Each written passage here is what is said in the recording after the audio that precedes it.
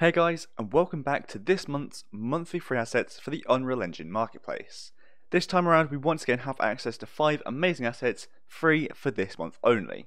So these are the Opera House Kit, the MAE Oak Forest, the Modern House, the VaultIt Multiplayer Vaulting System, and the Art of Shader Film and Special Effects. So without further ado, let's just get right into it, starting with the Opera House Kit. So the Opera House is a large kitbash set of assets designed in realistic style that allows you to create custom themed operas or concert halls.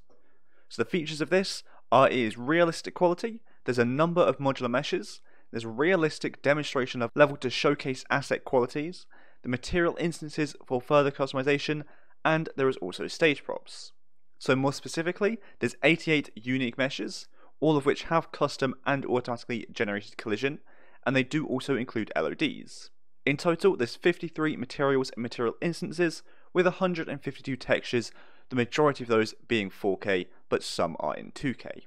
So there isn't a lot to say about this on the marketplace page, but you can really see in the video now what it is that you're getting. You're getting an absolutely amazing and high quality looking opera house for you to use in your games.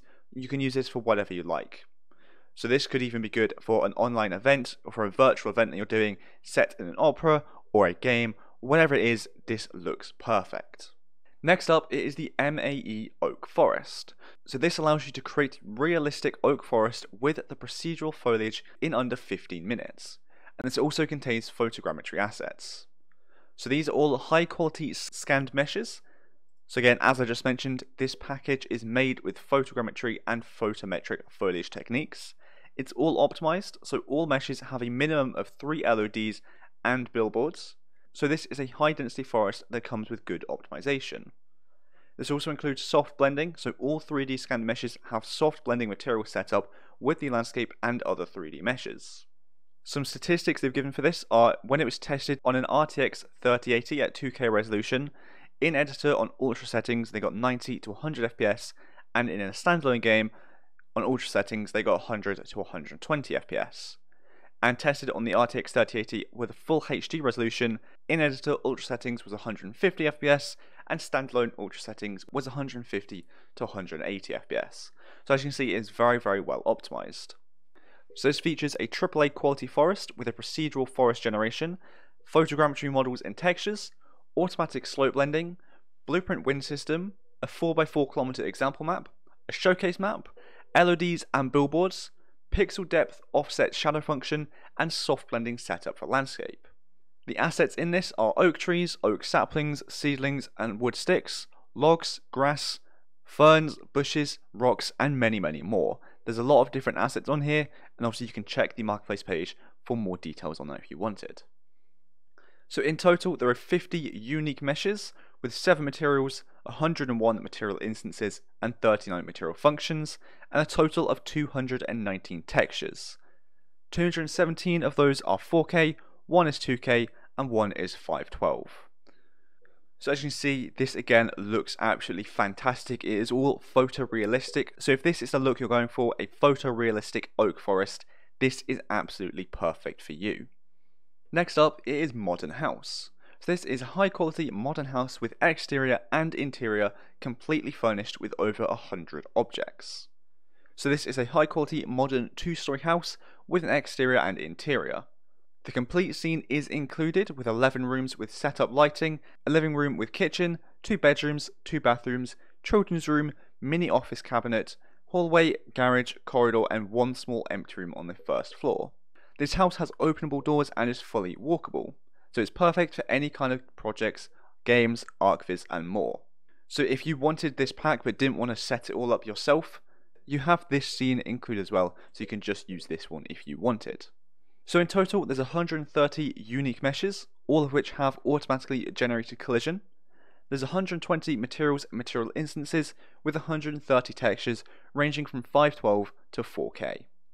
As with some of the other ones on here, there's not a lot to say about this. Again, it's more just visual. You see what you get. So you can see on screen now this amazing high quality photorealistic house which you are getting and you can use.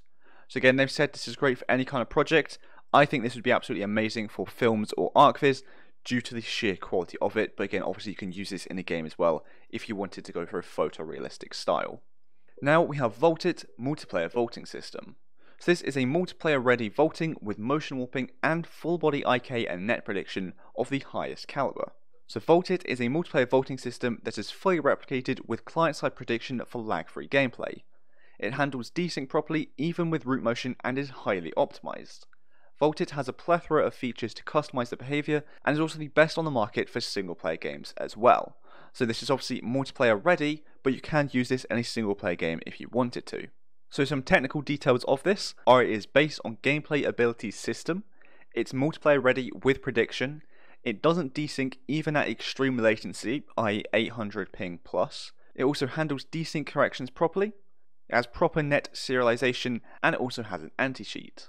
It's driven by root motion animations, there is motion warping, full body IK for correct hand placement, but it doesn't require any IK bones. So there is a lot to say about this. There's so many different features on here. We should obviously go through the full list on the marketplace page itself, but this looks absolutely amazing. So just another additional thing on here are its fully modular setup supports characters, AI, and maybe pawns. So this is very easy to use for your own characters in multiplayer or in single player, and it's easy to adapt to other blueprints as well. So again, you can use this for an AI if you wanted to as well. Again, I think this looks absolutely amazing and this has 11 5 star reviews. Finally, last but not least, we have the Art of Shader Film and Special Effects.